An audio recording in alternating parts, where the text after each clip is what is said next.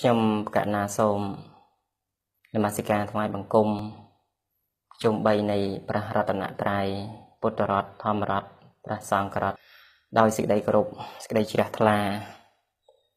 នមស្ការថ្វាយបង្គំព្រះធរៈគ្រប់ព្រះអង្គធ្វើនៅសេចក្តីរាប់អាន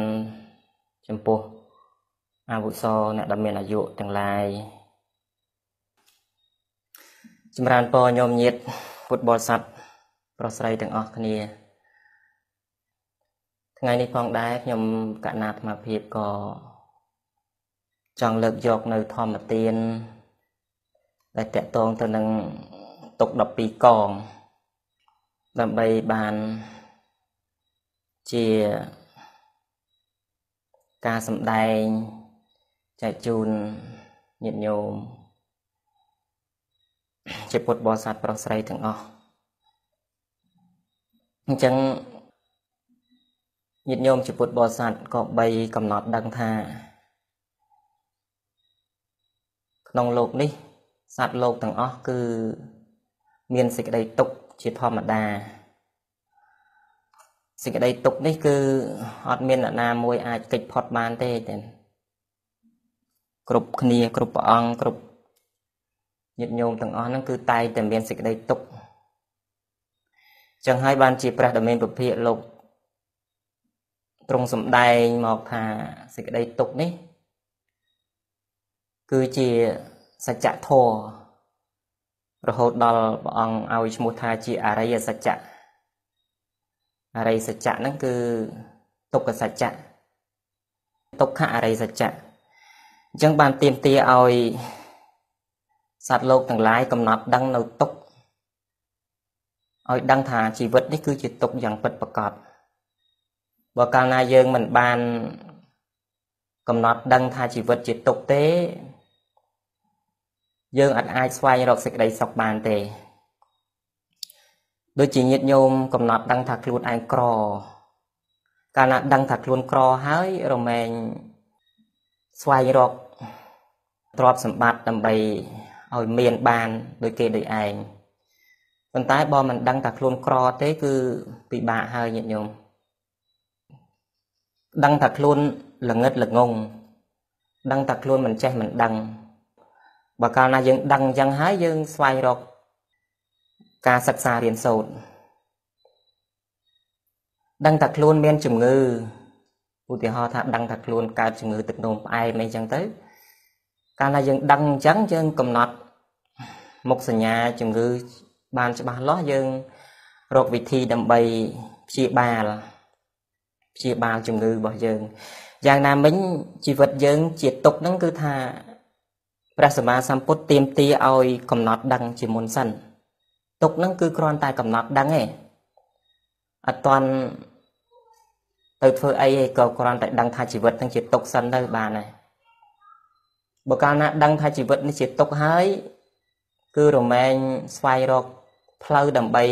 ទៅរកការរួចរំដោះនៅសេចក្តីទុក្ខទាំងឡាយទាំងពួងអញ្ចឹងបានព្រះអង្គសម្ដែងនៅក្នុងធម្មចក្រកបវត្តនៈសូត្រហ្នឹងគឺការដែលយើងស្វែងរកផ្លូវដើម្បីរួចរំដោះចាកសេចក្តីទុក្ខហ្នឹងគឺអដ្ឋាង្គិកមៈអដ្ឋាង្គិកមៈគឺជាផ្លូវយើងហៅថាមគ្គដែលដែលជាសច្ចធម៌ដែរណាទេ គឺមគ្គសច្ចៈមគ្គសច្ចៈហ្នឹងគឺអដ្ឋាង្គិកមៈហ្នឹងឯងប្រកបដោយអង្គ8ប្រការដែលផ្ដើមចេញអំពីសមាទិដ្ឋិសមាទិដ្ឋិហ្នឹងមានន័យថាការយល់ត្រូវ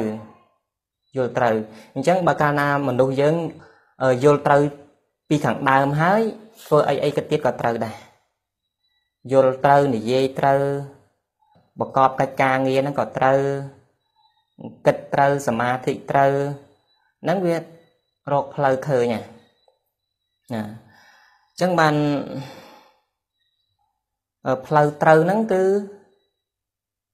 គឺយើងតើតែយើងអឺ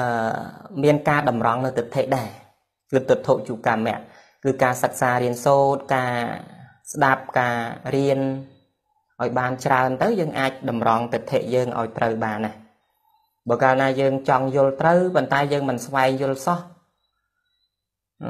ឬពាក្យពេចធរអាធម្មទានអីហ្នឹងយើងអត់ចូលចិត្តស្ដាប់ទេมันអាចអ៊ីនធឺណិតខ្សោយមែនតើ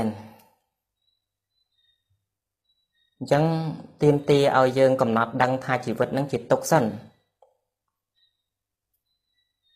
ហើយទុកនឹងមានរហូតដល់12កងឬក៏12ប្រភេទ12របៀបហ្នឹងយើងអាចនិយាយចឹងក៏បានដែរ ប៉ុន្តែសូមទៀមទាឲ្យកណាគុណចាស់ញាតិញោមជាពុទ្ធបរិស័ទហ្នឹងឲ្យដឹងកំណត់ថាជីវិតនេះគឺជាទុក្ខអត់មានជីវិតនឹងជាសុខទេព្រះអង្គមិនដែលសម្ដែងថាសុខៈអរិយសច្ចៈណាគឺទុក្ខៈអរិយសច្ចៈសច្ចៈនឹងបានន័យថាវាពិតវាពិតជាទុក្ខប៉ុន្តែដោយសារសត្វលោកយើងភ័ន្តច្រឡំទៅយល់ច្រឡំទៅថាជីវិតហ្នឹងគឺ បានទទួលនៅសេចក្តីសុខអំពីរូបសម្លេងក្លិនរសសម្ផស្សផតថាពៈធម្មរមអីផ្សេងផ្សេងខាងក្រៅហ្នឹងជាបញ្ចកាមគុណនៃជាដើមហ្នឹងទទួលអារម្មណ៍ជាសុខមួយផ្លែតមួយផ្លែតហ្នឹងចឹងទៅក៏ក៏ងប់ជ្រុបពង្វេងទៅនឹងអាការទទួលបានអារម្មណ៍បែបហ្នឹង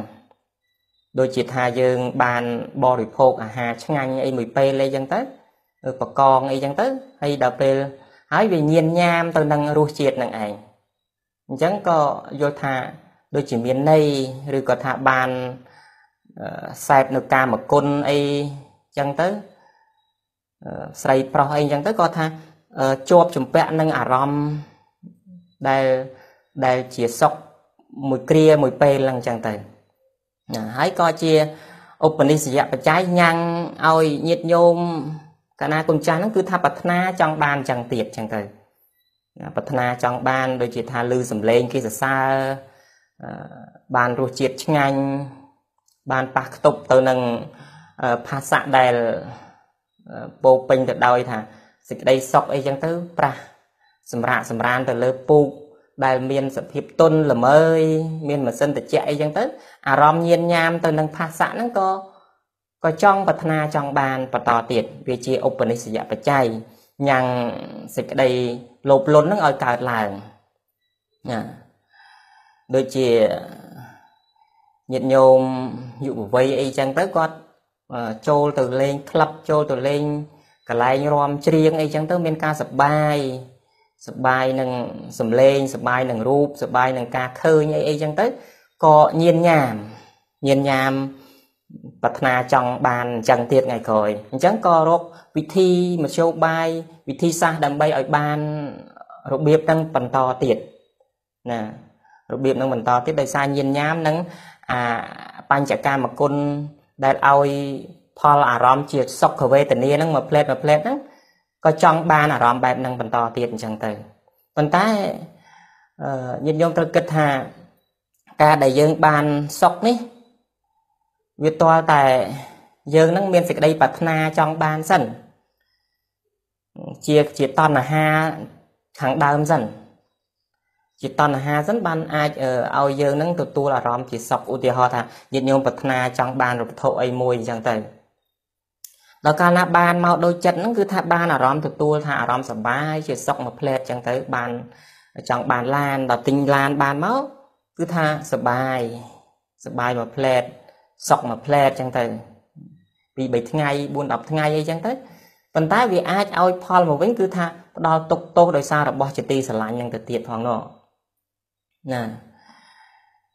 អាហ្នឹងគឺថាយើងចេះតែងប់ជ្រប់ពង្វែងទៅនឹងរបស់ខាងក្រៅហ្នឹងរូបសម្លេងក្លិនរសហ្នឹងដោយមិនបានកំណត់ដឹងថាទាំងជីវិតជាទុកទេ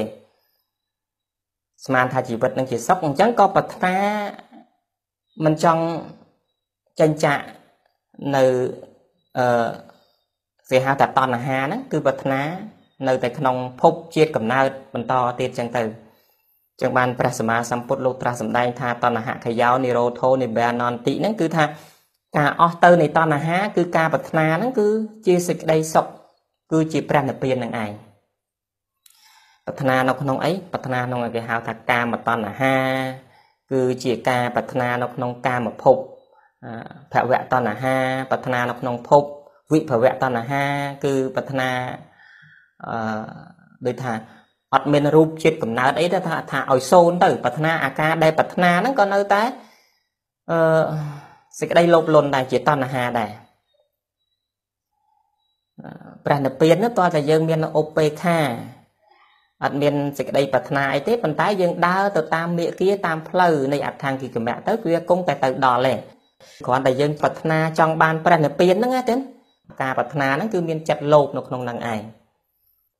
ប្រាថ្នាហ្នឹងគឺយើងមានចិត្តលោភលន់នៅក្នុងហ្នឹងគឺមិនមែនជាផ្លូវទៅកាន់ព្រះនិព្វានទេព្រោះតែមានចិត្តលោភលន់កាលណាមានចិត្តលោភលន់គឺលោភៈចេតសិកណា ចឹងគឺដំណើរនៃព្រះសម្មាសម្ពុទ្ធគឺចង់ឲ្យសត្វលោកនឹងយល់អំពីជីវិតនឹងគឺជាទុក្ខសិនកាលណាដឹងថាជីវិតជាទុក្ខហើយយើងរកផ្លូវដើម្បីរួចរំដោះចាកសេចក្តីទុក្ខនឹងគឺអដ្ឋានទីកមៈហើយយើងកំណត់ដឹងទៅថា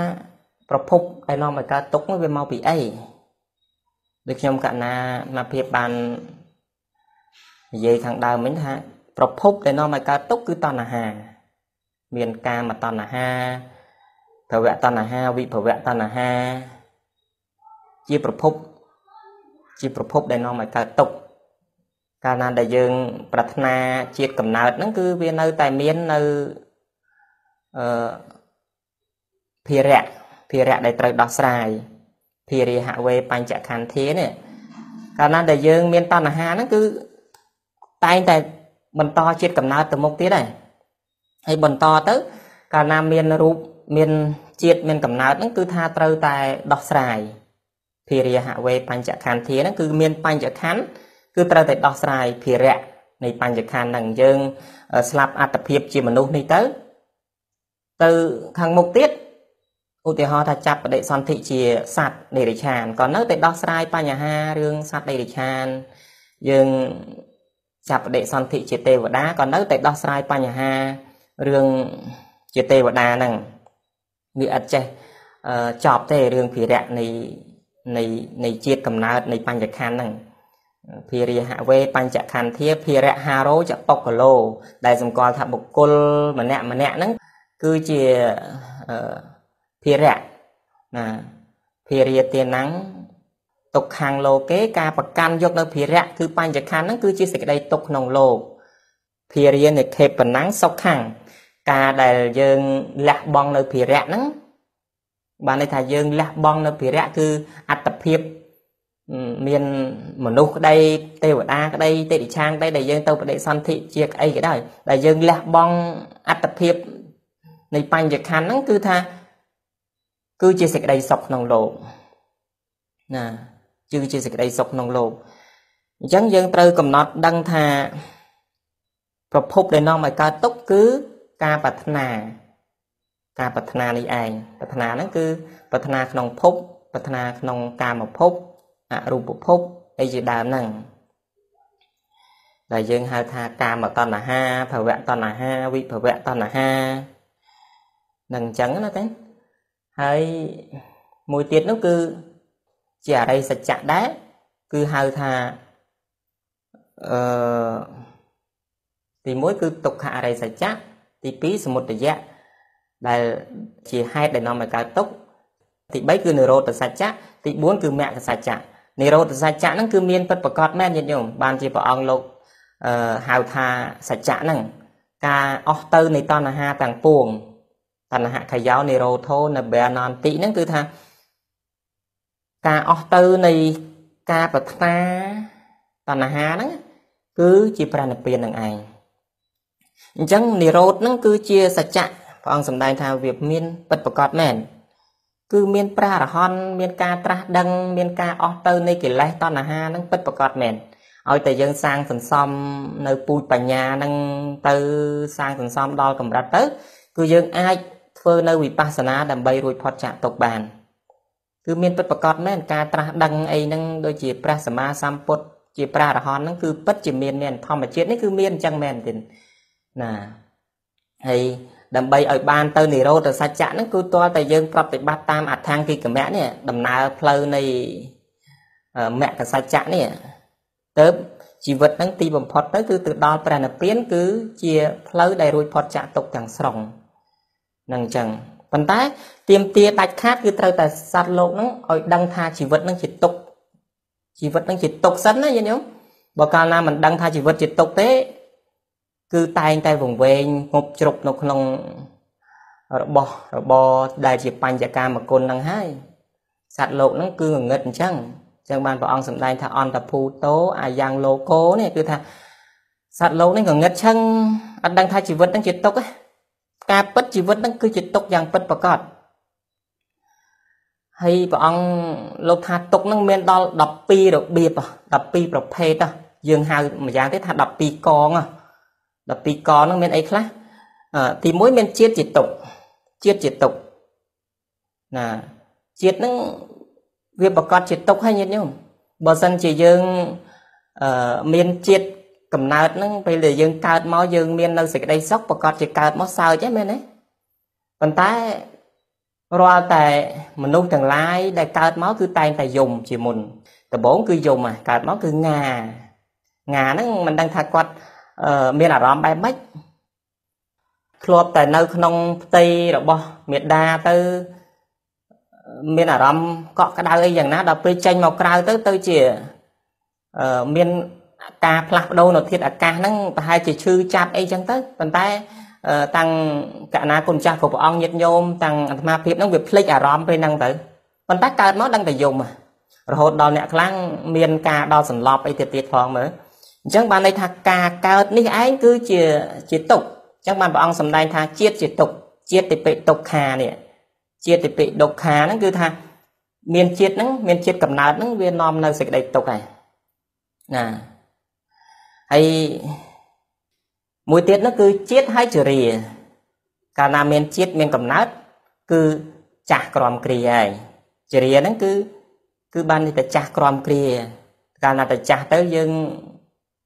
យើងឈឺហ្នឹងមែនទេជាតិជរាជាធិណែវានៅទន្ទឹមគ្នាហ្នឹងគ្រាន់តែជរាហើយគឺជាធិឯងកាលណាយើងជរាមានការឈឺឆ្អឹងឈឺឆ្អែងមានរោគគាព្យាធិផ្សេងផ្សេង ណាទោសហ្នឹងគឺដូចព្រះអង្គសម្ដែងនៅក្នុងគិរីមនន្តសោតហ្នឹងថារូបរាងកាយនេះគឺជាទោសយ៉ាងក្រៃលែងហើយបញ្ចខណ្ឌហ្នឹងនោះកើតមកហ្នឹងឈឺដោះស្រាយមិនចេះចប់មិនចេះហើយដោះលាងសម្អាតរាល់គ្រប់អវ័យអវ័យទាំងអស់ហ្នឹងគឺថាតែងតែមកដោះស្រាយនៅរូបតែមួយហ្នឹងរូបយើងមួយហ្នឹងណាអញ្ចឹងបានថាបញ្ចខណ្ឌនេះព្រះអង្គចាត់ទុកជាមេទៅទៀតផង ណាខណ្ឌធមេដូចមេទាំង5មានខណ្ឌធមេមានកិលេសមេមានមច្ចុមេសេចក្តីស្លាប់ហ្នឹងអឺមេទាំង5យ៉ាងខ្ញុំកណាតមកពីដូចជាផ្លេចខណ្ឌធមេកិលេសមេប៉ុន្តែចង់និយាយថាខណ្ឌហ្នឹងគឺជាមេណាបញ្ចខណ្ឌហ្នឹងណាឃើញទេឃើញជាមេទេយើងត្រូវដោះស្រាយគ្រប់ រឿងទាំងអស់ទៅដោះស្រាយឈឺចកេះឈឺឆ្អឹងឈឺឆ្អែងចាស់ក្រមគ្រាហ្នឹងហើយចំណែកទី4ព្រះអង្គសម្ដែងថាស្លាប់សេចក្តីស្លាប់ស្លាប់ហ្នឹងគឺទុកហើយណាសេចក្តីស្លាប់ហ្នឹងគឺទុកហើយព្រោះសត្វលោកហ្នឹងមាននរណាគេចង់ស្លាប់ទេភ័យខ្លាចនឹងសេចក្តីស្លាប់នេះភ័យខ្លាចមែនតែនហើយគឺថាគ្មាននរណាមួយដែលចង់ស្លាប់ទេក៏ប៉ុន្តែព្រះអង្គសម្ដែងថាសេចក្តីស្លាប់ហ្នឹងក៏ជាទុកដែរ ចឹងក្នុងទុក12កងហ្នឹងមានជាតិជារៀបជាតិធិមរណៈហ្នឹងទាំង4ខាងដើមហ្នឹងគឺថាសូម្បីតែព្រះអរហន្តសូម្បីតែព្រះសម្មាសម្ពុទ្ធសូម្បីកណាក៏ព្រះអង្គញាតិញោមអាត្មាភាពក៏មានទុកនឹងដែរមានទុកនឹងពធជួយអត់បានទេញោមសូម្បីតែព្រះសម្មាសម្ពុទ្ធក៏មានជាតិជារៀបជាធិមរណៈក៏គ្រាន់ថាព្រះអង្គលោកហៅថាបរិនិព្វានប៉ុន្តែន័យតែមួយគឺការបែកធ្លាយនៃបញ្ចខណ្ឌដូចគ្នា វាខុសគ្នាត្រង់ថា ដែលយើងបែកធ្លាយបញ្ចខណ្ឌទៅនៅមានអវិជ្ជានៅមានជាតិកំណើតបន្តភពទៅទៀតណាចាប់បដិសន្ធិទៅមុខទៀតចឹងទៅអន្តោក្នុងសង្សារវដ្តប៉ុន្តែសម្រាប់ព្រះសម្មាសម្ពុទ្ធវិញគឺថាព្រះអង្គបែកធ្លាយរំលាយខណ្ឌទៅគឺថាព្រះអង្គសូន្យទៅណាសូន្យទៅអត់មានជាតិកំណើតអីទៅបដិសន្ធិទៅទៀតទេប្រៀបដូចជាថ្នោតកបត់កដែលគ្មានអីបន្តទៅទៀតទេណា អញ្ចឹងវាខុសគ្នាត្រង់អញ្ចឹងទេតែវាអត់មានតែថាអឺព្រះអង្គនឹងមិនជួបទុកទាំង4ហ្នឹងទេព្រះអង្គក៏ជួបដែរព្រះអង្គមានអាពាតដែរទេមើលព្រះអង្គលោកឈឺចកេះដែរតាអង្គុយសំដែងពធឲ្យឈឺចកេះអឺទីបំផុតទៅបែកធ្លាយបញ្ញខណ្ឌដូចគ្នាហ្នឹងជាច្បាប់ធម្មជាតិពធក៏ជួយមិនបានដែរជាតិជារៀបជាធិមរណៈហ្នឹងຕົកទាំង4កងខាងដើមហ្នឹងប៉ុន្តែសម្រាប់ຕົក8កងទៀតណា 8កងពោះទាំងអស់12កង8កងទៀតពធជួយបានពធដែលយើងសិក្សាពធទៅយើងអាចធ្វើចិត្តយើងនឹងឲ្យជួយជួយឲ្យកាត់បងនៅសេចក្តីខឹងក្រោតសេចក្តីលោភលន់សេចក្តីពង្វេងនៅក្នុងអ្វីអ្វីទាំងឡាយហ្នឹងគឺយើងអាចកាត់បន្ថយបានតែណាយើងអាចកាត់បន្ថយបានហើយទី5នោះគឺ អបតិយេហិសម្បយោគោដុក្ខោការដែលជួបរបស់ដែលមិនជាទីស្រឡាញ់ពេញចិត្តណាការដែលយើងជួបរបស់ដែលជាមិនជាទីស្រឡាញ់ពេញចិត្តហ្នឹងក៏ជាហេតុនាំមកទៅទុកទេដូចជាថាប្តីប្រពន្ធអីចឹងទៅអត់ស្រឡាញ់សោះប៉ុន្តែម៉ែឪបខំឲ្យទៅជួបគ្នាទៅក៏នៅជាមួយគ្នាអត់មានសេចក្តីសុខទេពោពេញទៅដោយសេចក្តីទុក្ខ អាហ្នឹងយើងជួបរបស់មិនជាទីស្រឡាញ់ពេញចិត្តហ្នឹងហើយហ្នឹងរបស់អ្វីក៏ដោយដែលយើងមិនប្រាថ្នាចង់បានដែលយើងស្អប់អីចឹងទៅมันពេញចិត្តហ្នឹងបានន័យថាយើងស្អប់អីចឹងទៅប៉ុន្តែដល់ពេលជួបទៅគឺថាកើតទុកហ่ะកើតទុកហ่ะហើយមួយវិញទៀតគឺបិយេហេវបយោគោទុក្ខោបានន័យថាប្រត់ប្រាស់ចាករបស់ជាទីស្រឡាញ់មួយជាជួប មួយជួបរបស់มันជាទីស្រឡាញ់ក៏ទុកអាប្រត់ប្រាស់របស់ជាទីស្រឡាញ់ហ្នឹងក៏កើតទុកដែរជួបរបស់ដែលមិនជាទីស្រឡាញ់កើតទុកអប្រត់ប្រាស់ចាករបស់ដែលជាទីស្រឡាញ់ពេញចិត្តក៏កើតទុកដូចជាថាយើងប្រត់ប្រាស់ចាកនៅសត្វនិងសង្ខារជាទីស្រឡាញ់ឬក៏ថាបាត់បង់នៅរបស់របរដែលជាទីស្រឡាញ់អាហ្នឹងក៏កើតទុកដែរណា ដូចជាក្រុមគ្រួសារបងប្អូនសាច់ញាតិអីចឹងទៅស្លាប់អីចឹងទៅយើងកើតទុកហ่ะយើងកើតទុកណាប៉ុន្តែញាតិញោមជាពុទ្ធបរិស័ទទាំងឡាយត្រូវកំណត់ដឹងទុកហ្នឹងត្រូវកំណត់ដឹងទុកហ្នឹងថាតើការដែលយើងកើតទុកហ្នឹងដោយសារអីឥឡូវអាត្មាលើកឧទាហរណ៍ថាមានសាច់ញាតិយើងស្លាប់តោះជាកូនជាឪពុកជាម្ដាយអីចឹងទៅ ស្លាប់បាត់ទៅអញ្ចឹងដល់ពេលអញ្ចឹងយើងយំយើងយំយើងកើតទុកហើយញាតិញោមត្រូវកំណត់ដឹងថាការដែលញាតិញោមយំនេះការដែលញាតិញោមកើតទុកនោះមិនមែនដោយសារតែឪពុកស្លាប់ដោយសារកូនស្លាប់ដោយសារម្ដាយស្លាប់ដោយសារក្រុមសាច់ញាតិស្លាប់ហ្នឹងទេគឺដោយសារតែចិត្តរបស់យើងឯណែក្នុងចិត្តហ្នឹងយើងជាប់ចម្ពាក់នឹងរបស់ហ្នឹងដោយសារចិត្តយើងជាប់ចម្ពាក់ទេមិនមែនដោយសារតែរឿងគាត់ស្លាប់ឯណាទេ បើសិនជាយើងហេតុនៃការយើងយំដោយសារគាត់បាត់បង់ជីវិតហ្នឹងយើងត្រូវតែយំរហូតដែរហេតុអីបានខ្ញុំកណាត់មកភាពសំដែងអញ្ចឹងដោយសារតែឧទាហរណ៍ថា5ឆ្នាំទៅមុខទៀតញាតិញោមយំទៀតទេណាអាការយំសោកស្ដាយកើតទុកហ្នឹងគឺឈប់ហើយឈប់យំហើយហេតុអីបានឈប់ដោយសារតែ4 5ឆ្នាំទៀតចិត្តយើងវារសាយការជាប់ចម្ពាក់ជាមួយនឹងរបស់ហ្នឹង ជាមួយនឹងសត្វទាំងសង្ខារហ្នឹងណាក្រុមសាច់ញាតិហ្នឹងគឺយើងរសាយការជាប់ចម្ពាក់អញ្ចឹងបានន័យថាយើងអត់យំទៀតទេយើងអត់យំទៀតទេហើយបើសិនជាយើងថាំងអឺមិញឯងយំដោយសារអីថាខ្ញុំយំដោយសារកូនស្លាប់ថាមែនទេមែនដោយសារកូនស្លាប់ដោយសារខ្ញុំឯងជាប់ចម្ពាក់នឹងកូនហ្នឹងចិត្តណាចិត្តហ្នឹងជាប់ចម្ពាក់នឹងកូនហើយ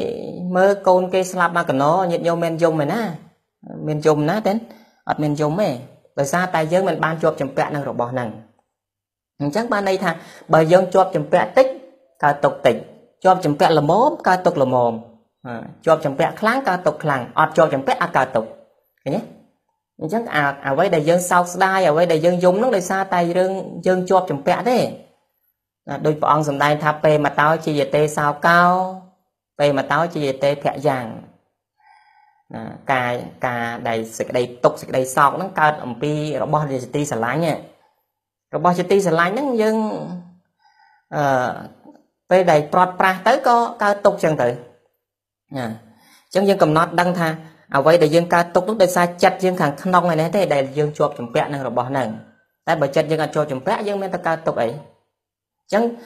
សូមឲ្យញាតិញោមហ្នឹងកំណត់ដឹងទុកហ្នឹងទៅដឹងថាដែលយើងប្រត់ប្រាស់ចាករបស់ជាទីស្រឡាញ់ហ្នឹងគឺដោយសារតែចិត្តយើងជាប់ចម្ពាក់ទេហើយបើយើងថា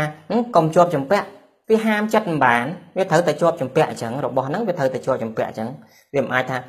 ញោមហើយកុំជាប់ចម្ពាក់អីវាមិនអាចទៅកើតទេទេណាសូម្បីតែខ្ញុំកណាតមកពីហ្នឹងក៏នៅតែមានជាប់ចម្ពាក់របស់របរអីអញ្ចឹងទៅ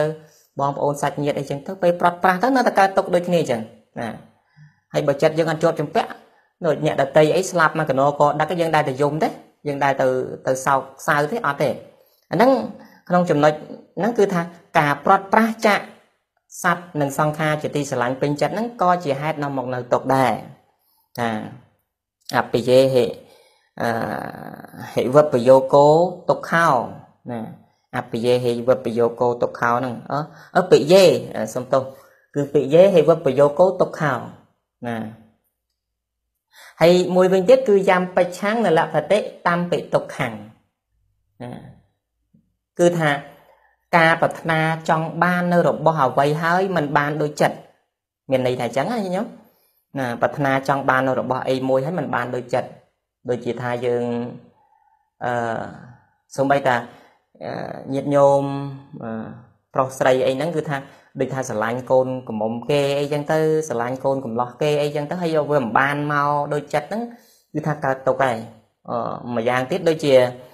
យើងចង់បានរបស់របរអីផ្សេងផ្សេងចឹងទៅណាដូចជាថាយើងចង់បាននៅដូចអាត្មាកាលពីមួយរយៈពេលមុនហ្នឹងចង់បានម៉ាស៊ីនថតចឹងណាម៉ាស៊ីនថតសំឡេងចង់បានអើយចង់បានចង់បានយកមកទុកគ្រាន់តែដើរសំដែងពធតាមបនតាមអីចឹងទៅថតសំឡេងទុកចឹងទៅណា ហើយចង់បានវាអត់មានលុយទិញណាហើយដល់ពេលចឹងទៅចង់បានប្រាថ្នាចង់បានហ្នឹងពេលខ្លះចឹងទៅតែងតែឆែកមើលតាមអ៊ីនធឺណិតនឹងម៉ូតអីម៉ូតអីម៉ាស៊ីនថតនឹងប្រាថ្នាចង់បានគឺថាมันជាសក់ទេគឺថាកើតទុកចង់បានបើយើងមិនបានដូចចិត្តយើងអាហ្នឹងការដែលចង់បានរបស់អ្វីហើយមិនបានហ្នឹងក៏គឺជាកើតទុកដែរណាក៏ជាហេតុនាំឲ្យកើតទុកដែរហើយមួយវិញទៀតនោះគឺសេចក្តីទុកដែលថាសោកៈបរិទេវៈ សោកបរិទេវតុកតោមនសបាយាសាបេតុក្ខាណាដែលញាតិញោមកណាគុណចាស់តែងតែសូត្រនៅក្នុងធម្មចក្រប្រវត្តិនសូត្រក្តីតែងតែសូត្រនៅក្នុងបរិច្ចសមុបាទពិធរក្តីគឺតែងតែសូត្រណាសោកបរិទេវតោខតោមនាសបាយាសាជាតិតិអីចឹងទៅអឺអាហ្នឹងគឺថាក្នុងក្នុងមួយមួយគាថាមួយមួយឃ្លាហ្នឹងដែលអាត្មាសូត្របំបញ្ញមិញហ្នឹងគឺមានទុក 4កងនៅក្នុងហ្នឹងទៅហើយណាសោកៈមួយណាសោកៈបរិទេវៈទុកតោមនោះនិងឧបាយាសៈណាសោកៈហ្នឹងគឺសេចក្តីសោកសឹកសួលហ្នឹងញោមគឺសេចក្តីសោកមិនមែនសឹកសួលទេសឹកសួលសោកៈបរិទេវៈបរិទេវៈគឺសេចក្តីសឹកសួលសោកៈហ្នឹងមានន័យថាដូចថាយើងកើតទុកក្រៀមក្រំមិនយំទេញាតិញោមដូចថាសញ្ជឹងសញ្ជក់សញ្ជឹងអាហ្នឹងសោកៈហើយ សញ្ជក់សញ្ជឹងស្ងៀមស្ងៀមប៉ុន្តែសេចក្តីទុកហ្នឹងក្រៃលែងណាអាការសោកៈហ្នឹងសេចក្តីទុកក្រៃលែងណាញាតិញោមណាអ្នកខ្លះកើតទុកឲ្យបានយំហ៊ូហ៊ូទៅអាហ្នឹងវាដូចជាធូរប៉ុន្តែអាមនុស្សប្រភេទខ្លះគឺមិនយំទេប៉ុន្តែទុកនៅក្នុងចិត្តរបស់ខ្លួនហ្នឹងគឺថាទុកមែនតែនទៅណាសឹងបែកដើមទ្រូងហើយទុករបៀបហ្នឹងហើយអសោកៈបរិទេវៈហ្នឹងគឺថាសឹកសួលសឹកសួលហ្នឹងគឺយំហើយ យំដើនដកដើនដកអញ្ចឹងទៅយំហ្នឹងគឺថាយំដូចជាដូចថាខ្សឹកខ្សួលដូចក្មេងទាំងហក់ពេលញោមដែលឃើញក្មេងដែលយំហើយវានៅតែសັດចុងក្រោយតែសັດនឹងខឹកខឹកខឹកខឹកនៅហ្នឹងអាហ្នឹងគេហៅថាខ្សឹកខ្សួលហើយសោកៈបរិទេវៈទុកតោមនោទុកតោមនោតោមនោហ្នឹងបានន័យថាយើងបដិខៈថ្នាំងថ្នាក់ទៅនឹងរបស់ខាងក្រៅ ដូចថាគេធ្វើអីមកដូចមិនត្រូវចិត្តចឹងទៅទាស់ទៅអីចឹងទៅទាស់ទៅនឹងអ្នកនេះអ្នកនោះអីចឹងទៅណាចេះតែទាស់ចេះតែទៅចឹងចឹងបានថារបស់ទាំងឡាយទាំងពួងហ្នឹងកុំកុំយើងកុំចេះតែទាស់ទេរឿងខ្លះយើងមិនគួរទាស់យើងកុំទាស់ត្រង់ចំណុចខ្លះទេណាយើងមិនគួរទាស់ដូចជាថាគ្រាន់តែគេដើរបញ្ចុះផ្លូវយើងទៅដើរទៅអញ្ចឹងទៅ គេមិនញញឹមដាក់យើងក៏ទាស់ ដើរទៅគេមិនសួរយើងក៏ទាស់ជួនកាលគ្នានឹងកំពុងតែមានវិបត្តិអីមួយអញ្ចឹងទៅដើរទៅมันបានឃើញយើងទេជួនកាលឃើញគេអញ្ចឹងទៅយើងឃើញគេអញ្ចឹងទៅយើងសើចដាក់គេហើយគេមិនបានសើចដាក់យើងក៏តោះតោះចិត្តដែរមានការគុំគួនទៅទៀតផងអញខំសើចដាក់វាវាធ្វើមុខកញើអីចឹងទៅជួនកាលគ្នាមានផលវិបាកក្នុងចិត្តណាញាតិញោម ហើយវាមិនបានញញឹមដាក់យើងអីទៅវិញទេជួនកាលមើលយើងអញ្ចឹងទៅចេះតែមើលតែភ្នែកអញ្ចឹងទៅប៉ុន្តែអារម្មណ៍គាត់ហោះហើរអណ្ដែតអណ្ដូងទៅដល់ណាទៅហើយអាត្មាភាពក៏ធ្លាប់អញ្ចឹងដែរឃើញគេអញ្ចឹងទៅជួនកាលអារម្មណ៍ឡៃតែគិតផ្សេងឯណោះมันបានគិតថាមើលគេផងប៉ុន្តែភ្នែកមើលទៅគេហើយប៉ុន្តែมันបានគិតថាមើលគេទៅគឺថាអារម្មណ៍មិនដែលដងទៅដល់ផ្សេងគិតរឿងផ្សេងឯណោះហ្នឹងអញ្ចឹងយើងកុំទាស់ហារឿងចឹងចឹងយើងកុំទាស់ពេក ណាតែទាស់ទៅកើតតែសេចក្តីទុកដល់ខ្លួនឯងទេប៉ុន្តែយើងត្រូវកំណត់ដឹងថារឿងដែលយើងគួរទាស់គួរតែទាស់ដែរញាតិញោមមិនមែនចេះតែយើងអីអ្វីអ្វីសិតតែមិនទាស់ទាំងអស់ទេ ដូចជាថាឃើញគេធ្វើអាក្រក់អីចឹងទៅបំផ្លាញសង្គមតើធ្វើបាបគេធ្វើបាបឯងចឹងទៅយើងបើមិនទាស់ទេអាហ្នឹងវាទៅជារឿងអាត្មានិយមទៅទៀតណាយើងហ្នឹងគឺជាមនុស្សប្រភេទអាត្មានិយម ឃើញគេធ្វើអាក្រក់ហ្នឹងយើងចេះបដែតបដោយឲ្យគេធ្វើដោយមិនយកចិត្តទុកដាក់មិនជួយមិនអីចឹងទៅឃើញមនុស្សម្នាក់វ័យមនុស្សម្នាក់ទៀតយើងអាត្មានិយមយើងដើរហួសទៅមិនជួយទៅអន្តរាគមអីហ្នឹងអាហ្នឹងវាទៅជាមនុស្សអាក្រក់ទៅវិញទេណាញាតិញោមណាអញ្ចឹងកាលណាដែលយើងទាស់នឹងរបស់ខ្លះវាមិនគួរទាស់យើងកុំទាស់ប៉ុន្តែរឿងខ្លះយើងគួរតែទាស់ដែរដូចឃើញគេធ្វើអាក្រក់អីជាដើមហ្នឹងគឺថាយើងគួរតែទាស់ដែរ បើកាលណាយើងមិនចេះស្អប់មិនចេះទាស់នឹងអំពើអាក្រក់មានន័យថាយើងនឹងបណ្ដែតបណ្ដោយនៅឲ្យអំពើអាក្រក់ហ្នឹងវាចេះតែបានដៃទៅប្រព្រឹត្តអំពើអាក្រក់តទៅមុខទៀតដោយសារតែយើងនឹងមិនបានទៅជួយអន្តរាគមហ្នឹងអញ្ចឹងក្នុងនាមសភាវៈល្អដាច់ខាតណាដាច់ខាតអាត្មាប្រើពាក្យថាដាច់ខាតសភាវៈល្អទាំងឡាយគឺដាច់ខាតត្រូវតែទាស់អំពើអាក្រក់ញាតិញោម កាលណាដែលយើងមិនទាស់នឹងអំពើអាក្រក់ទេ បានន័យថាយើង ជាមនុស្សអាត្មានិយមហើយជាមនុស្សដែលអត់ខ្វល់អំពីសុខទុក្ខអ្នកដតីហើយអាណាងាប់អីងាប់ទៅប៉ុន្តែនៅត្រង់ថាដែលយើងកុំទាស់ហ្នឹងកុំទាស់នៅត្រង់ថាគេគ្រាន់តែមិនសើចដាក់យើងគេមិនសួរយើងគេមិនញញឹមដាក់យើងហ្នឹងក៏ទាស់ដែរអាហ្នឹងវាជារឿងដែលត្រូវយើងត្រូវថាកុំទាស់អីអារឿងចឹងចឹងនោះណាទាស់ទៅនាំតែកើតទុកខ្លួនឯងអត់ប្រយោជន៍ទេ ណាព្រោះថារូបហ្នឹងវាឃើញត្រឹមតែឃើញរូបចឹងទៅឮសំឡេងត្រឹមតែឮចឹងទៅបាត់ឮហើយរលត់បាត់ទៅហើយហ្នឹងវាមានអីនៅជាខ្ជាប់ខ្ជួនអីប៉ុន្តែអ្វីដែលយើងយកមកធ្វើទុកក្នុងចិត្តនេះដែលជាយោនិសោមនសិការៈនេះគឺយើងទុកក្នុងធ្វើទុកក្នុងចិត្តហ្នឹងដោយអបាយដែលត្រូវទំនងហ្នឹងវាកើតទៅជាកុសលប៉ុន្តែបើកាលណាយើងឃើញឮអីចឹងទៅបដិខៈផ្នំថ្នាក់ ដែលអាត្មាសំដែងនៅក្នុងអាតោមនោះហើយទុកតោមនោះនេះបដិខៈថ្នាំងថ្នាក់នៅនឹងរបស់ហ្នឹងវាទៅជាបាបវាទៅជាកើតទុកកើតទុកទៅវិញហើយកើតទុកបែបហ្នឹងគឺអត់ប្រយោជន៍ទៅទេអញ្ចឹងទៅបានតែបាបបានអកុសលអត់ប្រយោជន៍ក្នុងក្នុងចិត្តហ្នឹងប៉ុន្តែបើសិនជាយើងតោមនោះទៅនឹងរបស់ខ្លះដែលដូចថាឃើញគេធ្វើអាក្រក់យើងចំពោះឬក៏ថា ធ្វើធ្វើភាពអយុត្តិធម៌ទៅលើបុគ្គលណាម្នាក់ហ្នឹងយើងជួយដោះស្រាយអីចឹងទៅកាលពីសម័យព្រះសម្មាសម្ពុទ្ធអ្នកដែលឈឺឆ្អាលនិងអ្នកដតីជាងគេញាតិញោមដឹងពីណាគេទេអ្នកដែលឈឺឆ្អាលចេះជួយដោះស្រាយបញ្ហារឿងរ៉ាវអីហ្នឹងពុទ្ធបរិស័ទហ្នឹងគឺគឺជាអគ្គសាវកស្ដាំរបស់ព្រះសម្មាសម្ពុទ្ធនឹងឯងគឺព្រះសរិបុត្រនឹងឯងប៉ុណ្ណា គឺឈឺឆ្អាលនឹងអ្នកដតីហ่ะមិនមែនចេះតែយករូបតែខ្លួនទេចេះតែថាអ្នកណាស្អីស្អីទៅឲ្យតែអញបានសុខអាចចេះទាស់នឹងអំពើអាក្រក់អាហ្នឹងវាទៅជាបានបាបជួនកាលយើងយើងខឹងនឹងអំពើអាក្រក់យើងខឹងមែនប៉ុន្តែជាអឺគេហៅថាឧបនិស្សយបច្ច័យឲ្យកើតកុសលខាងក្រោយវិញក៏មានដែរពីព្រោះថារាល់តែការខឹងហ្នឹងតោសៈហ្នឹងគឺកើតឡើងមិនមែនសុទ្ធតែជា អាការដែលយើងខឹងហ្នឹងវាបាបហើយមិនមិនបាបទេប៉ុន្តែបាបខ្លះវាជាអឺបច្ច័យឲ្យកើតបុណ្យមានអញ្ចឹងដែរញញោមកាលណាគុណចាស់ដែលធ្លាប់សិក្សាអភិធម្មអឺកណ្ដាលគុណចាស់យល់ហើយញាតិញោមដែលសិក្សាអភិធម្មថាបាបខ្លះអកុសលខ្លះអកុសលខ្លះវាជាបច្ច័យឲ្យកើតកុសលខាងក្រោយវិញក៏មានដែរអញ្ចឹងណាដូចយើង ចេះខឹងនឹងអំពើអាក្រក់ហ្នឹងបានន័យថាយើងជាមនុស្សល្អហើយយើងចេះទាស់ទៅនឹងអំពើអាក្រក់ហ្នឹងមិនមែនថាកុំទាស់កុំទាស់អីកុំទាស់អីកុំទាស់អីរាល់តែកុំទាស់អីណាងាប់អីងាប់ទៅកុំទាស់អីណាគេធ្វើអីធ្វើទៅកុំទាស់អីអាហ្នឹងវាមិនត្រូវទេដូចជាមួយរយៈពេលមុនលេចលឺរឿងដែលដែលគេចាប់រំលោភកូនក្មេងអញ្ចឹងបងចាប់រំលោភកូនក្មេងហើយសម្លាប់ចោល មើលក្មេងទៅអាយុដូចជា14ឆ្នាំហើយម្នាក់ទៀត7ឆ្នាំមើលធ្វើអំពើខកខៅយងខ្នងសាហាវបែបហ្នឹងជាជាអំពើដែលដែលដឹងហៅថាមនុស្សមិនកើតទេញញោមជាហៅថាមនុស្សសបែមនុស្សនិរយិកោរូបជាមនុស្សប៉ុន្តែចិត្តជានរកសាហាវដូចនរកអីចឹងទៅ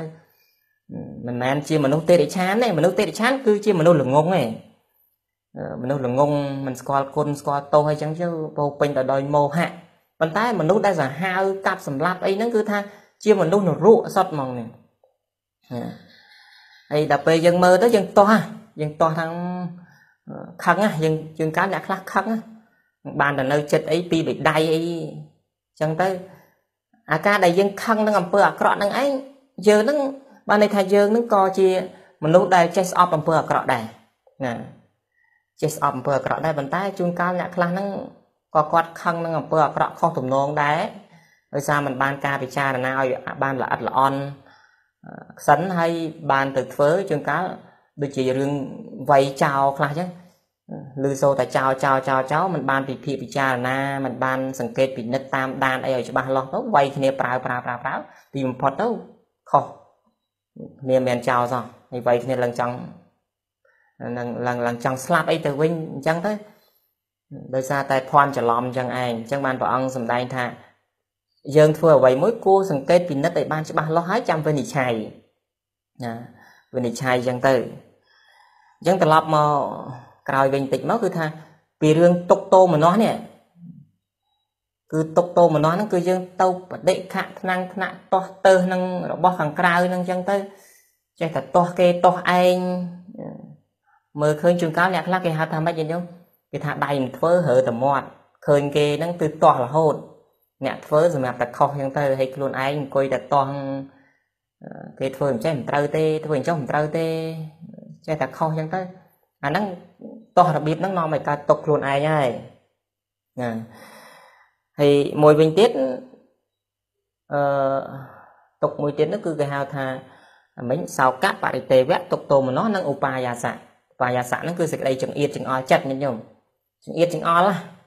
មនុស្សខ្លះចង្អៀតចង្អល់ចិត្តហ្នឹងញញោមចង្អៀតហ្មងចិត្តគាត់អត់ទលាយទេឃើញគេបានមិនត្រេងអត់ទេចំណែនឈ្នាននេះអ៊ីសាចង់ឲ្យអ្នកដតីនឹងវិនិច្ឆ័យវិន័យទៅអាការដែលយើងចង្អៀតហ្នឹងចិត្តយើងចង្អៀតពេកវាដូចជាវាកើតຕົកខ្លួនឯងញញោមកើតຕົកខ្លួនឯងជួនកាលឃើញគេបានលៀបសការៈអីចឹងទៅចង្អៀតខ្លួនឯងហ្នឹងហើយគ្មានបានអីផងហ្នឹង ណាគ្រាន់តែបានតែបាបអកុសលមកដាក់ក្នុងចិត្តនឹងបានសេចក្តីទុកហ្នឹងគ្មានបានអីមកផងហ្នឹងណាចំណែនគេសូថាចំណែនទៅវាបានលៀបហ្នឹងមកយើងខ្លះមកវាគ្រាន់បើតិចនេះអត់ផងបានត្រឹមតែកើតទុកបានត្រឹមតែអឺបានបាបដោយសាររឿងចង្អៀតចិត្តហ្នឹងដោយពាក្យមើលគេថាស៊ូចង្អៀតផ្ទះតែកុំអោយចង្អៀតចិត្តចង្អៀតចិត្តហ្នឹងពិបាកណាมันងាយទេចង្អៀតចិត្តហ្នឹង ចឹងការអឺការចង្អៀតចង្អល់ចិត្តហ្នឹងវានាំឲ្យកើតទុកដែរណាការចង្អៀតចង្អល់ចិត្តហ្នឹងឥឡូវអឺទុកចុងក្រោយណាទុកចុងក្រោយហ្នឹងគឺព្រះអង្គសម្ដែងអឺអំពីបញ្ចខណ្ឌណាអំពីបញ្ចខណ្ឌនេះគឺព្រះអង្គសរុបសេចក្តីទុកទាំងអស់ហ្នឹងណា សង្ខតេនបញ្ចុបាទានខន្ធាទុក្ខាគឺថា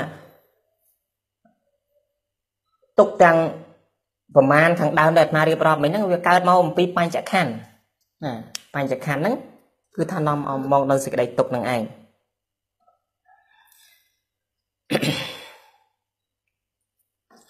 អញ្ចឹងការមាននៅបញ្ចខណ្ឌនេះវាជាភារៈដែលយើងត្រូវដោះស្រាយណាញាតិញោមគឺថា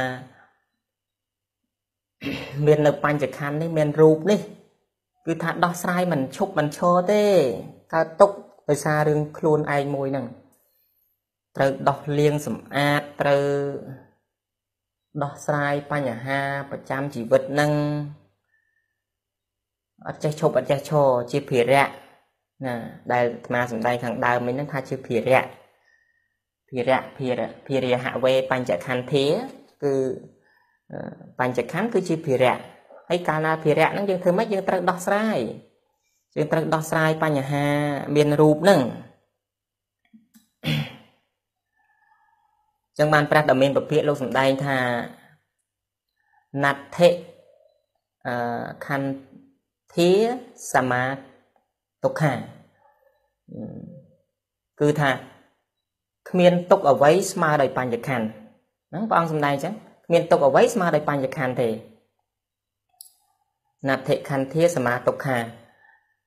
ព្រះអង្គប្រកាសសម្ដែងចឹងថាគ្មានទុកអ្វីស្មើដោយបញ្ញខណ្ឌទេមានខណ្ឌហ្នឹងមានរូបខណ្ឌហ្នឹងគឺវេទនារូបវេទនាសញ្ញាសង្ខារវិញ្ញាណតាម5ហ្នឹងសរុបមកគឺនេះរូបរាងកាយរបស់យើងនេះគឺកើតទុកណាប៉ុន្តែសត្វលោកហ្នឹងវាទៅជាយល់ថាហើយកើតទុកអីព្រះអង្គហើយ ខ្ញុំកណាស្រឡាញ់រូបរាងកាយនេះខ្លាំងណាព្រះអង្គក៏សំដែងមកទៀតមកឃើញឧបនិស្ស័យភាស្រ័យសត្វលោកហ្នឹងថាស្រឡាញ់រូបរាងកាយនឹងខ្លាំងអញ្ចឹងទៅព្រះអង្គក៏ប្រកាសសម្ដែងមកពគាថាទៀតថាណដ្ឋិអត្តសមង្ពេម៉ាំងគឺសត្វលោកហ្នឹងគ្មានអ្វីស្រឡាញ់ជាងខ្លួនឯងទេណាគឺថាស្រឡាញ់ខ្លួនហ្នឹងជាងអ្វីៗទាំងអស់ហ្នឹងហ្នឹងវាទៅជាផ្ទុយគ្នាវាទៅជាព្រះអង្គលោកថាខ្លួនហ្នឹងកើតទុក ហើយយើងយើងថាកើតទុកអីស្រឡាញ់ជាងអីហីស្រឡាញ់ណាស្រឡាញ់ខ្លួនណាប៉ុន្តែបើដឹងថាខ្លួនជាទីស្រឡាញ់ហើយព្រះអង្គក៏ប្រកាសសម្ដែងមកផងដែរថាបើដឹងថាខ្លួនជាទីស្រឡាញ់ហើយគួរប្រកបខ្លួននឹងនៅក្នុងសេចក្តីល្អទៅកុំធ្វើបាបណាអត្តានញ្ជេបយ៉ាងចញ្ញារខេយេណងសុរគិតាំងនេះអត្តានញ្ជេបយ៉ាងចញ្ញាអ្នកណាំងប៉ាពេនសង្យជេនេះគឺថា បើដឹងថាខ្លួនជាទីស្រឡាញ់សូមប្រកបខ្លួនក្នុងអំពើល្អបើដឹងថាខ្លួនជាទីស្រឡាញ់សូមរក្សាខ្លួនកុំធ្វើនៅអំពើបាបទាំងពួងណា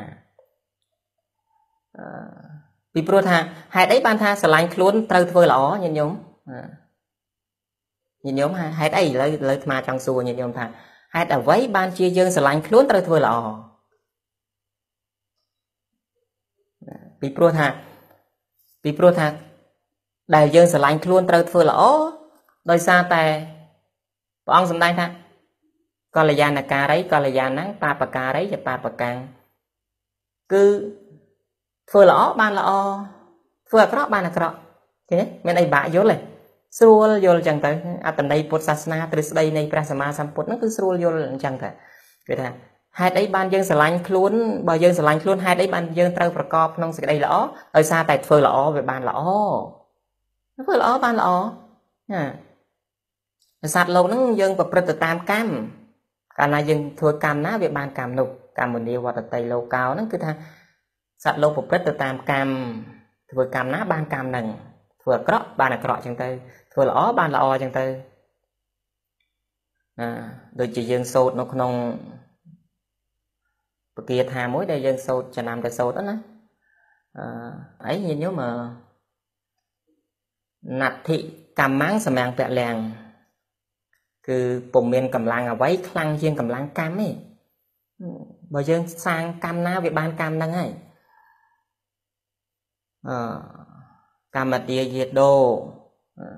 សត្វលោកជាទាយារបស់កម្មកម្មយោនិមានកម្មជាផៅពង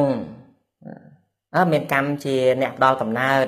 កម្មពន្ធុមានកម្មជាផៅពងកម្មបតិសារណោមានកម្មជាទីពឹង យ៉ាងកម្មੰក្រេសាមិបើសត្វលោកប្រព្រឹត្តនៅកម្មណាកល្យាណังវាតាប្រកាំងវាប្រព្រឹត្តនៅកម្មល្អក្តីកម្មអាក្រក់ក្តីតាសទាយេដោពវេសាមីនឹងទៅជាទាយាតទទួលនៅកម្មដែលខ្លួនបានប្រព្រឹត្តនឹងឯងជាទាយាតហ្នឹងបានន័យថារងទទួលនៅនៅផលកម្មដែលខ្លួនបានធ្វើហ្នឹងកម្មល្អក្តីកម្មអាក្រក់ក្តីហ្នឹងគឺថាយើងធ្វើកម្មណាទទួលកម្មនោះអញ្ចឹងហើយបានយើងថាបើស្រឡាញ់នៅខ្លួនទៀមទាឲ្យយើងធ្វើល្អនេះ ត្រូវតែធ្វើល្អហើយបើកាលណាយើងធ្វើស្រឡាញ់ខ្លួនតែយើងទៅធ្វើបាបបាបហ្នឹងនាំអកុសលកម្មហ្នឹងនាំយើងទៅកន្លែងអន់កន្លែងថោកអញ្ចឹងទៅណាអបាយភូមិអញ្ចឹងទៅនរកប្រែតដេរិឆានអសូរកាយអញ្ចឹងទៅឃើញទេវាមិនប្រសើរទេហើយបើយើងដឹងថាខ្លួនជាទីស្រឡាញ់ហើយគួរប្រកបខ្លួនក្នុងអំពើល្អទៅនឹងអញ្ចឹងអត្តន័យនៃព្រះសម្មាសម្ពុទ្ធដែលលោកត្រង់ចង់សម្ដែងចង់នាំយើងទៅហ្នឹង ហើយបើយើងស្រឡាញ់ខ្លួនតែយើងទៅប្រព្រឹត្តធ្វើអំពើអាក្រក់អាហ្នឹងហាក់បីដូចជាយើងធ្វើបាបខ្លួនឯងអញ្ចឹងធ្វើបាបខ្លួនឯងទៅវិញទេណាណាប្រព្រឹត្តធ្វើអាក្រក់ហ្នឹងជួនកាលអ្នកខ្លះធ្វើអាក្រក់បច្ចុប្បន្នហ្នឹងហាក់បីដូចជាឆ្ងាញ់ណាផ្អែមណាអំពើបាបហ្នឹងមិនទាន់ឲ្យផលដូចជាទឹកខ្មុំដែលមានពឹសដែលមានថ្នាំពុលនៅក្នុងហ្នឹងអញ្ចឹងគឺថាផ្អែមឆ្ងាញ់អញ្ចឹងទៅប្រព្រឹត្តទៅបានលុយបានអីចឹងទៅលៀបសការៈចឹងទៅខំប្រឹងកុហកខំប្រឹងបោកប្រាស់អីចឹងទៅ ក៏ងប់ជ្រប់ទៅពង្វេងនៅក្នុងរឿងលៀបរឿងយុះហ្នឹងចឹងទៅដោយសារបានអំពីអំពើដែលខ្លួនបានធ្វើជាអំពើអាក្រក់ហ្នឹងតែបាបមិនតន់ឲ្យផល គឺវាឆ្ងាញ់ចឹងឯងណាប៉ុន្តែកាលណាតែបាបឲ្យផលហើយគឺมันអាចកិច្ចផុតបានទេពីព្រោះសត្វលោកប្រព្រឹត្តទៅតាមកម្មសូម្បីតែព្រះសម្មាសម្ពុទ្ធក៏ព្រះអង្គនៅតែកម្មតាមឲ្យផលតលឲ្យបានញាតិញោមមើល មើលព្រះអង្គជាតិចុងក្រោយហើយហ្នឹងបានត្រាស់ជាព្រះសម្មាសម្ពុទ្ធហើយហ្នឹងណាបានត្រាស់ជាព្រះសម្មាសម្ពុទ្ធហើយអង្គុយសំដែងពធឈឺខ្នងឈឺចកេះដោយសារផលនៃបាបកម្មកាលពីអតីតជាតិនៅ ជាបរមពុទ្ធិសត្វកើតជាមនុស្សទឿហើយទៅវាយគេវាយបដាលអ្នកបដាលខ្លាំងកម្លាំងខ្លាំងអញ្ចឹងទៅណាដូចជា ទាត់គេគឺចកេះអាការផលនៃបាបកម្មហ្នឹងធ្វើឲ្យព្រះអង្គជាតិចុងក្រោយនឹងឯងបានត្រាស់ដឹងជាព្រះសម្មាសម្ពុទ្ធហើយក៏នៅតែកម្មហ្នឹងតាមឲ្យផលណាដូចជារឿងអង្គុលិមៀលអឺអឺមិនមែនអង្គុលិមៀលទេខ្ញុំគឺអគ្គអគ្គសាវកឆ្វេងរបស់ព្រះសម្មាសម្ពុទ្ធណាអឺមកកលៀន មកកលៀនព្រេកនិព្វានទៅចោល500នាក់កាប់ច្រាំដោយក្របអង្គអញ្ចឹងខ្ញុំម៉ត់ស្លុងដោយសាច់ប្រហិតអញ្ចឹងហើយសួរថាផលហ្នឹងដោយសារអីដោយសារផលនៃបាបកម្មកាលពីអតីតជាតិមកគឺថាសម្លាប់ឪពុកម្ដាយខ្លួនឯងណាផលនៃបាបកម្មហ្នឹងជាតិចុងក្រោយនៅតាមឲ្យផលឃើញទេសំបីតែព្រះអរហន្តហើយហ្នឹងនៅតែកម្មតាមឲ្យផលទៀតអញ្ចឹងបានព្រះអង្គសម្ដែងថា អ្នកអន្តលិខេអ្នកសមុទ្រតមៃឆេអ្នកបបតានាំងវិបរាំងប្រវៃសាំងអ្នកវច្ចតិសោចកតបតិសោយត្រាតិតាំងណបសហយៈបាបកម្មណាផលនៃបាបកម្មដែលខ្លួនបានធ្វើហ្នឹងទោះបីយើងរត់ទៅពួននៅក្នុងចន្លោះភ្នំក្តីពួននៅក្នុងសមុទ្រក្តីនៅលើអាកាសវេហាក្តីក៏នៅតែมันអាចកិច្ចផុតអំពីផលនៃបាបកម្មបានឡើយมันអាចកិច្ចផុតបានទេ ក្នុងរឿងហ្នឹងដូចជាមានរឿងឧទាហរណ៍ស្រាប់កាលពីសម័យអតីតកាលមកណាមានភិក្ខុ7អង្គដែលជាប់នៅក្នុងរូងភ្នំណាញាតិញោមដោយសារតែផលនៃបាបកម្មនៃការញាត់រុនទន្សោងរុនទន្សោងដែលឲ្យអឺដែលឲ្យសត្វទន្សោងនឹងឯង ស្គមរិញរៃអញ្ចឹងទៅហើយដល់ហើយចូលទៅក្នុងរូងភ្នំហ្នឹងទៅក៏អាថ្មល្មៀលតិចຕົកពីណាមកក៏មកសកត់រុនរុនភ្នំហ្នឹងចិត្តទៅណាសកត់ចិត្តខំកោះរំលើងយ៉ាងម៉េចក៏មិនអាចរួចបានដែរដូចជាគ្រាន់តែអ្នកស្រុកមកជួយកោះហ្នឹងដូចជា7ស្រុកណាដឹងមនុស្សប្រមាណអ្នកទេច្រើនណាមកជួយកោះអត់ចេញ កោះមិនចេញហេដូចជាប្រមាណស្រុកអាត្មាភ្លេចបាត់ហ្នឹងប៉ុន្តែ គេជួយកោះច្រើនប៉ុន្តែអត់ចេញដល់គ្រប់7ថ្ងៃថ្មហ្នឹងវាល្មៀលចេញណាអាហ្នឹងដោយសារអីដោយសារផលនៃបាបកម្មហ្នឹងអមួយទៀតរឿងដែលដែលបាបវាឲ្យផលហ្នឹងដូចជារឿងក្អែកដែលវាហើរលើអាកាសវេហាណោះកសិករដែលកំពុងតែដាំបាយ អាពងវេលឆ្នាំងហ្នឹងគេធ្វើពីចំបើងញាតិញោមពីដើមពីដើមហ្នឹងគេយកចំបើងទៅគួចចឹងហើយដាក់ពវេលឆ្នាំងហើយវាឆេះអាពវេលឆ្នាំងហ្នឹងខ្យល់មកពីណាមកវាហោះគួចឡើងទៅលើក្អែកមកពីណាមកវាហោះមកចំអាពវេលឆ្នាំងហ្នឹងឆេះស្លាប់បាត់ទៅណាហើយសួរថាអាកាសវេហាធំធេងយ៉ាងហ្នឹងវាខ្វះកន្លែងហើណាទៅឯងបានមកហើចំអាវេលឆ្នាំងហ្នឹងអាវេលឆ្នាំងវាហោះគួចខ្យល់ទៅចំអាក្អែកហ្នឹងដោយសារអីដោយសារផលនៃបាបកម្ម វាឲ្យផលកាលពីអតីតជាតិមកគឺថាទឹមគោអាហ្នឹងរឿងហ្នឹងគឺទឹមគោទឹមគោអឺទឹមគោអញ្ចឹងទៅគោហ្នឹងវាគៀចអត់ដើរទៅមុខវាអស់កម្លាំងវាអីចឹងទៅណាដល់ពេលអញ្ចឹងអត់ដើរទៅមុខអញ្ចឹងវាជ្រុបទៅដីទៅវាដេកចឹងទៅហើយក៏វាយយ៉ាងណាក៏មិនទៅដែរដល់វាយចឹងទៅក៏យកចំបើងហ្នឹងយកមករុំកគោហើយ ណាក៏ដុតណាដុតដុតគោហ្នឹងហើយក៏វាមិនរើទៅមុខឯណារួចដុតមិនក៏មិនរើដែរគេហៅថាវាអស់កម្លាំងវាដល់កហើយក៏គោហ្នឹងក៏ស្លាប់ទៅគោហ្នឹងអញ្ចឹងផលនៃបាបកម្មហ្នឹងបានទៅកើតជាក្អែកហ្នឹងបានទៅឆេះភ្លើងវិញហ្នឹងណាហ៎រឿងមួយទៀតដូចជារឿងនាងម្នាក់ដែលនៅលើកប៉ាល់ហ្នឹងធ្វើឲ្យកប៉ាល់គេគឿងតែទៅមុខ នៅកណ្ដាលសមុទ្រហើយកប៉ាល់គឿងយ៉ាងម៉េចទៅកើតដល់ពេលអញ្ចឹងទៅគេចាប់ស្លាកគេចាប់ឆ្នោតមើលចាប់ម្ដងចំនាងនឹងចាប់ពីរដងចំនាងនឹងនាងនឹងគឺជាប្រពន្ធរបស់នាយសំពៅនឹងទៅទៀតផងណាប្រពន្ធរបស់នាយសំពៅនឹងប៉ុន្តែចាប់3ដងនៅតែចំនាងនឹងចំទៅគេសម្រេចចិត្តពិភាក្សាគ្នាលើកប៉ាល់ហ្នឹងថាយកនាងនឹងចេញ យកនាងនឹងចេញថាបើសិនជាដាក់ទូកបដែតទៅវាគង់តែស្លាប់ដដែលទេអត់អាហារអីចឹងទៅវាគ្រាន់តែវេទនាយូរថ្ងៃអញ្ចឹងឥឡូវគេសម្រេចគ្នាថាយកខ្សែមួយខាងចងកកនាងហ្នឹងហើយមួយខាងទៀតអឺចងដៃចងជើងអីចឹងទៅហើយចងកហ្នឹងហើយមួយខាងទៀតចងដុំថ្មមួយខាងចឹងទៅហើយតម្លាក់ចូលទៅក្នុងសមុទ្រហ្នឹងទៅស្លាប់ទៅ ហ្នឹងដោយសារអីដោយសារផលនៃបាបកម្មដែលពីអតីតជាតិហ្នឹងគឺនាងហ្នឹងគឺបានសម្លាប់ឆ្កែសម្លាប់ដោយការយកយកក្អមហ្នឹងយកដាក់ដីឲ្យពេញហើយចងខ្សែមួយខាងចងមាត់ក្អមហើយមួយខាងទៀតហ្នឹងគឺចងកឆ្កែហ្នឹងឲ្យតម្លាក់ចូលទៅក្នុងទឹកទៅហើយផលនៃបាបកម្មហ្នឹងបានគេចងវិញតម្លាក់ក្នុងទឹកហ្នឹងវិញហ្នឹងអញ្ចឹងទៅ ហើយដូចជាសម័យបច្ចុប្បន្នខ្ញុំណាស់មកភាពធ្លាប់ឃើញគេសម្លាប់ឆ្កែហ្នឹងគឺថាជួនកាលគេស្រកដាក់ក្នុងករងក្នុងបាវអីចឹងទៅគេសកត់ចូលក្នុងទឹកណាអូយវេទនាណាស់នេះណាវេទនាមើលទៅផលនៃបាបកម្មបាបណាបាបណាហើយណាមួយទៀតយើងមើលថាសត្វឆ្កែមិនគួរណាបរិភោគទេញាតិញោមពីព្រោះដូចជាសមាជិកម្នាក់នៅក្នុងគ្រួសារយើងអញ្ចឹងណា ដូចជាអាត្មាធ្លាប់ឃើញឆ្កែដែលគេបង្ហោះក្នុង Facebook អីហ្នឹងមើលមនុស្សបញ្ចាស់ម្ចាស់ស្លាប់បាត់បង់ជីវិត6ឆ្នាំហើយហើយទៅដេកទៅលើភ្នោម្ចាស់ណាដេកលើភ្នោម្ចាស់អស់រយៈពេល6ឆ្នាំ គ្នាសោកសៅគ្នាអឺមានការអាឡោះអាល័យចំពោះម្ចាស់ហ្នឹងមើលពេលម្ចាស់ស្លាប់ទៅរត់ទៅតាម គេដង្ហែ ម្ចាស់ហែខ្មោចម្ចាស់ហ្នឹងរត់ទៅតាមយំស្រែកយំណាហើយគឺថាមានការស្រឡាញ់ពេល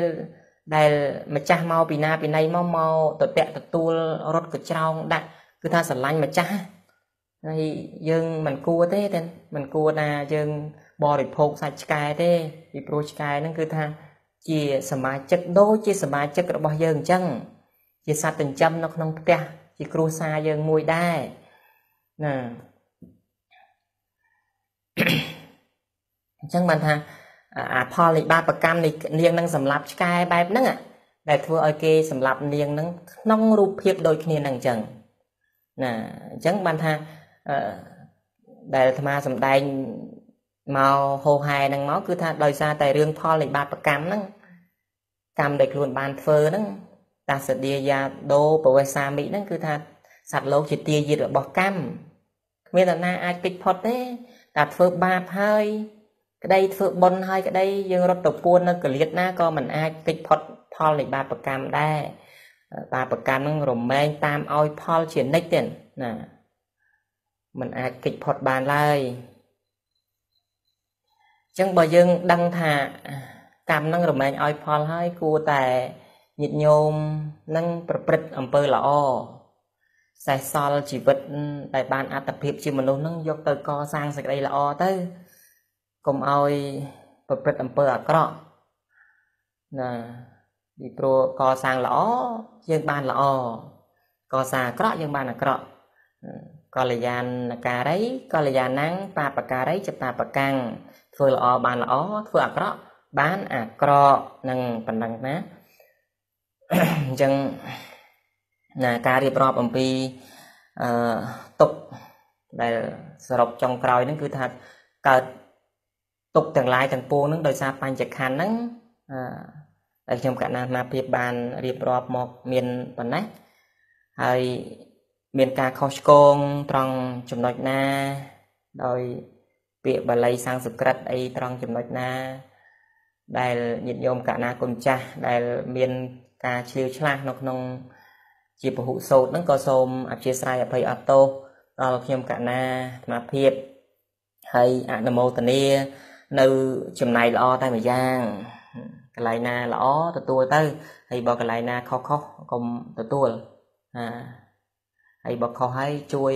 ជួយប្រាប់ផងខ្ញុំកណាអត់មានការខឹងតោះទៅឲ្យទេឲ្យតែខុសហើយមានហេតុមានផលមកថាងកណាកូនចាស់សំដែងថាកន្លែងនេះមិនត្រូវទេ កន្លែងនេះធ្វើអញ្ចឹងវិញបានត្រូវអាហ្នឹងអូខេអាត្មាក៏ទទួលយកបើថាស្ដាប់ហេតុផលញោមទៅថាវាសមហេតុផលគឺថាអាត្មាទទួលយកហើយកែប្រែប៉ុន្តែបើសិនជាស្ដាប់ទៅដូចជាមិននេះហេតុផលហ្នឹងมันអាចទទួលយកបានអាត្មាក៏